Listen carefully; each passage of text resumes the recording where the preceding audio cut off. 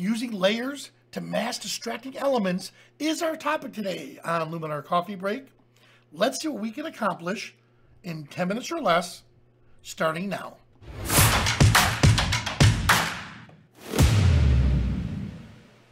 Hello everyone, welcome back.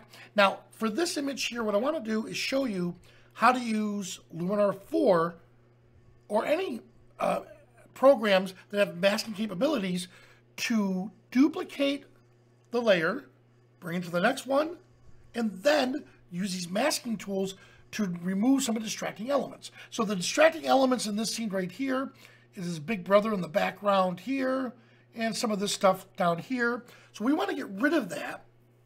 And in doing that, it's going to draw more attention to the baby. Now, I'm using Luminar 4 right now. Luminar Neo, the masking capabilities, they're not complete yet. Once they are, you'll be able to do all of this inside Luminar Neo. So here we are. The first step I have to do is I want to create a stamp layer.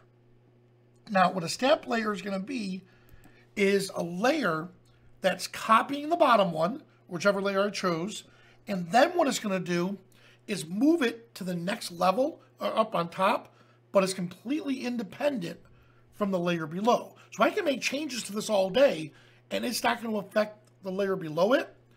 So that's where the masking capabilities come in. So now that I have this here, let's transform the layer. And what I need to do is flip it. So this side here is really good. We'll use this side to remove distracting elements on this side. So I flip it, there it is, and select done. So now that we have that set, now comes the fun part with the masking. So I'm going to edit the mask, and I'll use a brush tool. And I want to make sure I'm painting at 100% opacity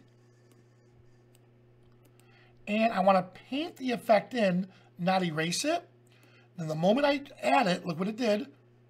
It, it, it hid everything on that layer except what I'm painting in. So now you just have to be careful. So this is no big deal. This part here is easy. But keep in mind, his head is somewhere. Look, it's right about here. So I have to make sure I stay away from this area. Now I'm going to press the X key and what that's going to do is I'm going to, sw that switches over to erase. And I'm going to erase that back out of the scene. There we go. And I'll come back in. Oh, now I'm going to paint it back in now.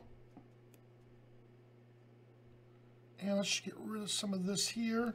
I'm going to make the brush smaller because I know I'm getting close to the original. There we go. And see how far I can go before I hit the bottom image right about, oh, there it is. X again, I'm going to paint that back in. And there we go. Now that little piece right here, if it's bothering us, I can either duplicate the layer again, or at that point, I'll use the clone tool, all right? Because that's such a small piece that the, the, the clone and stamp tool work, work perfect with it. The other side was just way too big. So it would take a long time to clone that other section out. So let's just do a little quality control to make sure. Yep, I'm to paint back in. Right over here, let's get rid of some of this.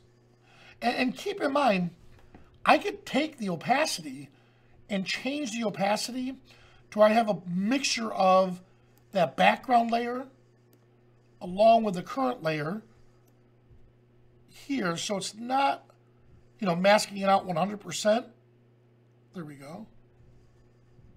And that looks good, just like that. Now, here's the thing. This layer is in combination with this layer. If I were to apply any effects onto this layer, it'll only affect that little section. So now I need to create another stamp layer. And now what it's doing here is it's merging that top layer we just created and the bottom layer, because like I said, if we didn't do that, it's recognizing just that little strip on that layer. So any changes I would have applied would have been just to that little strip. So here we are now. Looks, looks, this looks really good. Let's do Dreamy Portrait. Oh, I like how that looks. And then we can continue. If I come over here with some of the tools, let's put a vignette in here. I'll choose the subject.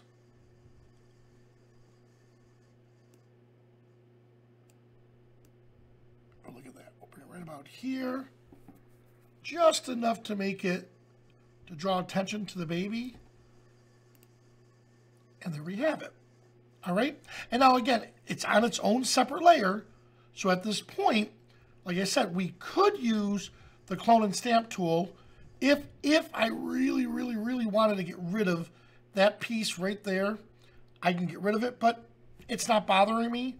So this looks good as is. All right. So just to recap, again, we copied a piece of the image, we flipped it, and then used that piece to hide the distracting elements. Now in Luminar 4, we have to make sure we created a stamp layer so it's, so the so the image is all independent on its own. Make our changes to that image, and then the secret is to create another stamp layer combining the bottom one and now our newly edited one. At that point, we can apply anything we want to that, and it'll appear as one. So, well, guys, thanks so much for watching, and I'll see you at the next coffee break.